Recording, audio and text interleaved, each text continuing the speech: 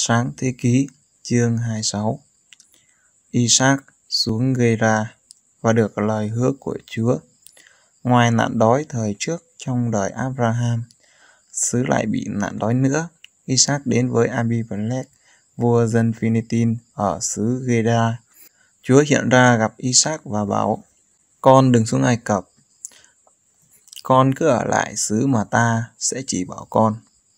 Hãy tạm trú trong xứ này, thì ta sẽ ở với con, ban phước cho con, ta sẽ ban cho con và dòng dõi con tất cả các xứ này, và ta sẽ giữ vững lời ta đã thề với Abraham thân phụ con.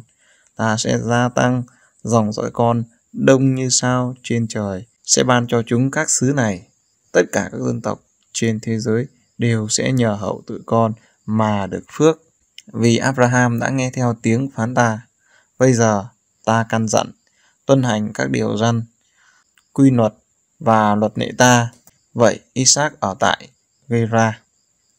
Khi bọn đàn ông trong xứ hỏi thăm về vợ ông, thì ông đáp, cô ấy là em tôi. Vì ông sợ nếu nhận nàng là vợ, thì bọn đàn ông ở trong xứ sẽ giết mình vì Rebecca bởi nàng có nhan sắc. Isaac cư ngụ đó lâu ngày, xảy ra khi Abimelech, vương người Philippines, nhìn qua cửa sổ, chợt thấy Isaac âu yếm Rebecca. Abimelech triệu Isaac vào bảo, Kìa, nàng quả là vợ nhà ngươi, sao ngươi lại nói cô ta là em tôi? Isaac tâu, vì tôi tự nhủ, phải nói thế để khỏi bỏ mạng vì nàng. Abimelech trách, ngươi làm chi cho chúng ta vậy? Nếu có ai trong dân ta ăn nằm với vợ ngươi, thế là ngươi gây cho chúng ta mắc tội đấy. Vua Abimelech truyền cho tất cả dân chúng, ai đụng đến người này hay vợ người thì sẽ bị xử tử. Isaac gieo trồng trong xứ đó. Năm ấy gặt hái được hơn trăm lần vì Chúa ban phước cho ông. Isaac thành ra giàu có, của cải ngày càng gia tăng đến mức trở nên cực thịnh. Ông có nhiều bầy chiên, bầy bò và nhiều tôi tớ nên bị dân Philippines ganh tị. Họ lấp tất cả các giếng mà tôi tớ của cha ông là Abraham đã đào vào lúc người còn sống. Vua Abimelech bảo ông, Ngươi, hãy đi khỏi đây, vì ngươi cường thịnh hơn chúng ta. Isaac từ đó ra đi và cắm trại tại thung lũng Gera và cư ngụ tại đó.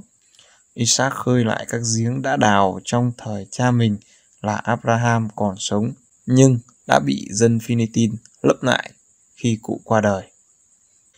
Ông gọi các giếng ấy theo tên cha mình đã đặt.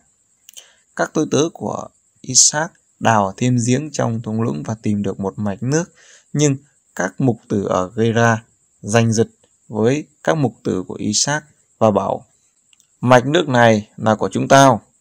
Isaac gọi mạch nước ấy là Esed, nghĩa là cãi lộn.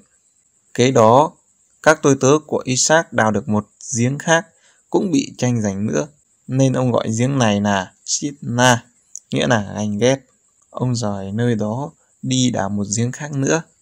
Lần này không còn tranh giành, nên ông đặt tên giếng này là Jehobot, nghĩa là những nơi rộng rãi, và nói, bây giờ Chúa đã dành chỗ rộng rãi cho chúng ta, nên chúng ta sẽ thịnh vượng trong xứ này. Chúa lại phán hứa với Isaac. Isaac từ đó đến Bethsheba. Ngày đêm đó, Chúa hiện ra cùng ông và phán, Ta là Đức Chúa Trời của Abraham, cha con.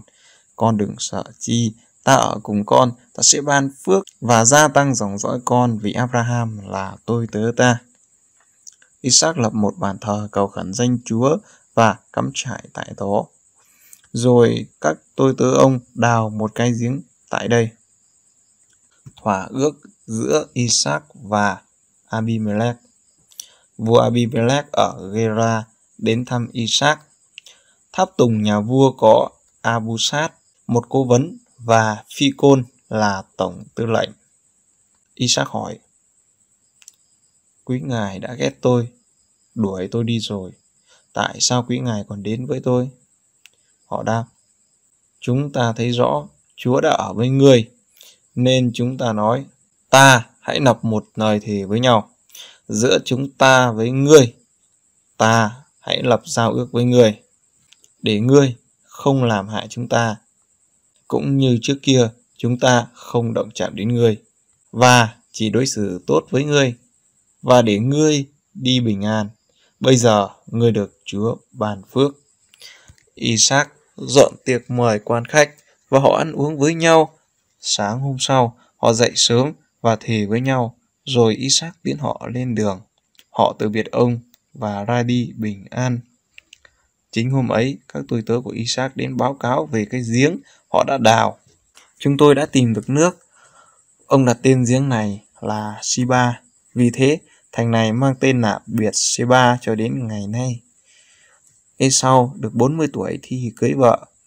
Một người à, tên Gia Đích, con gái của Beire, người Hethit, và một nàng tên Ba Senmat, con gái của Elong, cũng là người Hethit. Hai nàng dâu này gây nhiều sầu muộn cho Isaac và Rebecca.